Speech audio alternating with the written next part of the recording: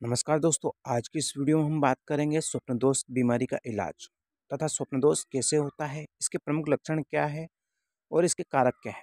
दोस्तों, स्वप्न दोष लगभग तेरह से चौदह साल की उम्र में चालू होना शुरू हो जाता है। स्वप्न दोष मुख्यतः अश्लील बातें सुनने अथवा अश्लील वीडियो देखने अथवा मन में अश्लील विचार लाने से उत्पन्न होता है। दोस्तों, जब आप रात को सोते वक्त अश्लील विचार लाते हो, तब वही आपके अश्लील विचार रात को आपके सपने में आते हैं और आपका जो वीर्य है, वो निष्कादित कर देते हैं। दोस्तों, स्वप्न दोष की प्रॉब्लम को ठीक करने के लिए शीशम एक कारागार उपाय है। दोस्तों, शीशम एक बहुत ठंडी चीज़ होती है। वहीं अगर आप बात करें स्वप्न दोष की तो स्वप्न दोष गर्मी के कारण उत्पन्न हो सकता है।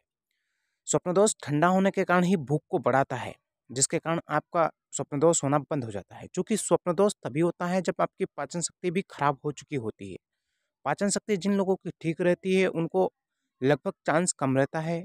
इसलिए शीशम पाचन शक्ति बढ़ाती है। यही कारण है कि शीशम से स्वप्न दोष धात्रों को चिपचिपा पानी खत्म हो जाता है। दोस्तों शीशम स्पर्म बढ़ाती है, आपके वीर को गाढ़ा करती है और आपके दिमाग को ठंडा रखती है, जिसके कारण आपको अश्लील विचार आदि आपके दिमाग में उत्पन्न नहीं होते हैं।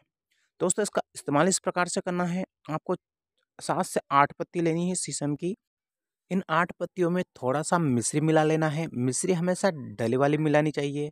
इन दोनों को कूट पीस कर एक कर लेना है और एक गिलास पानी मिला देना है। दोस्तों, इसको अच्छे से छान लेना है और पी जाना है। दोस्तों, ये नुस्खा आपको न्यूनतम दस से बारह दिन करना है और अधिकतम एक महीना करना है। दोस्तों, आप देखेंगे कि आपकी भूख बहुत ज़्यादा बढ़ जाएगी, आपकी प्रॉब्लम सॉल्व हो जाएगी और आपका शरीर तंदुरुस्त हो जाएगा। दोस्तों, ये नुस्खा कैसा लगा? नुस्खा अच्छा लगा हो तो वीडियो को लाइक कीजिएगा, चैनल पर नए हो तो चैनल को सब्सक्राइब कीजिएगा और हमारी नई वीडियो पाने के लिए बेल प्रेस आइकन पर क्लिक कीजिएगा। वीडियो देखने के लिए आपका बहुत बहुत धन्यवाद वीडियो अच्छी लगी हो तो वीडियो को लाइक कीजिएगा, चैनल पे नए हैं तो चैनल को सब्सक्राइब कीजिएगा और बेल प्रेस आइकन पर क्लिक कीजिएगा, जिससे हमारे नए वीडियो की नोटिफिकेशन मिल